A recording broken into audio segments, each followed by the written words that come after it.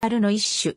体内の解毒酵素や抗酸化酵素の生成を促進し、体の抗酸化力や解毒力を高める。スルフォラファンはイソチオシアネートの一種で、油中野菜の中でもブロッコリーなどに含まれる。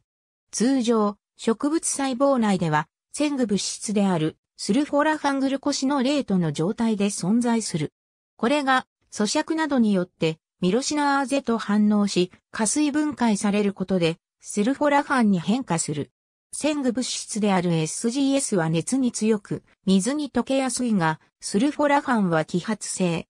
癌予防の研究を専門とする、米国ジョンズ・ホプキンス大学のポール・タラレーラは、様々な植物成分を調査した結果、ブロッコリーに含まれるスルフォラファンに、癌予防効果があることを発見した。タラレーはその後もスルフォラファンの研究を継続し、スルフォラファンの高濃度化に取り組んだ。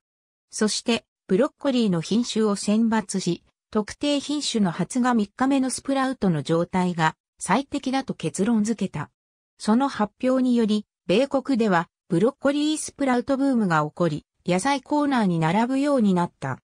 なおブロッコリースプラウトにおけるスルフォラファン含有量は、成熟ブロッコリーの約7倍品種によっては20倍にも上ると言われている。人の体には体内に取り込まれた発がん物質を無毒化し、体外に排出する解毒酵素が存在する。タラレイは、スルフォラファンに、その解毒酵素の生成を活性化する働きがあることを突き止めた。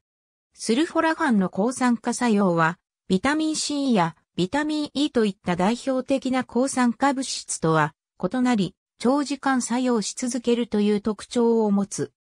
ビタミン C が摂取後数時間でその効果を失うのに、対し、スルフォラファンの効果は約3日間持続することができる。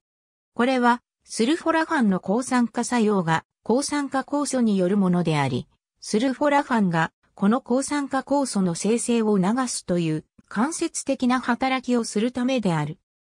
ヒークスにスルフォラファンを添加することで抗酸化酵素、ヘメオキシジニーズ -1 のメッセンジャー RNA 発現が更新することが日本の研究者により確認されている。スルフォラファンが体内に潜在的に存在する解毒酵素を活性化することで肝臓の解毒力を高め、肝機能の向上に寄与するという研究結果もある。スルフォラファンは体内に取り込まれると抗酸化酵素の生成を促進する。これによってグルタチオンを抗酸化物質として損失することなく DNA 合成の材料として使うことができる。また、スルフォラファンにはグルタチオンの生成を促す作用もある。その結果、細胞分裂が活性化され、新陳代謝を上げることができる。スルフォラファンには、胃がんの原因の一つと言われている、ピロリ菌の殺菌効果が報告されている。タラレーの研究グループの一人であるジェド・ファヒーの研究によると、胃炎や胃潰瘍、十二指腸潰瘍の患者から摂取した48株のピロリ菌すべてに対して、スルフォラファンは、生菌、殺菌効果を表した。抗生物質の耐性を持った菌種でも、殺菌効果が見られた。また、筑波大学の谷中による臨床試験によって、スルフォラファンを多く含む発芽3日目のブロッコリースプラウトを2ヶ月食べ続けたピロリ菌感染者で菌の減少が確認された。